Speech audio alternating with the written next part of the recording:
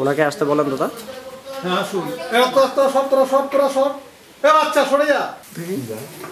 হ্যাঁ জুম কর যাবে আস্তে আস্তে। হুম।